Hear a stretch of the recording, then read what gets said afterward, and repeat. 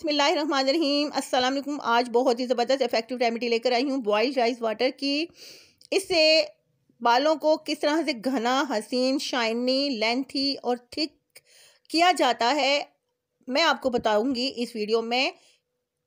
करना क्या है आपने? जो शैम्पू आप यूज़ करते हैं, आपने उतना क्वांटिटी जितनी क्वांटिटी आप अपने हेयर पे लगा रहे होते हैं, वो लेना है। Half teaspoon apple cider vinegar लेना है और इसको ऐड कर देना है इन दोनों चीज़ों को बॉइल्ड राइस वाटर के एक मग में, एक मग भर के लेना है, यानी कि जितना अगर आपने घर में चावल बॉयल हो रहे हैं, उस सारे पानी को आपने लेना है। एक मग जिसे आपके बाल वेट हो जाए अच्छी तरह से।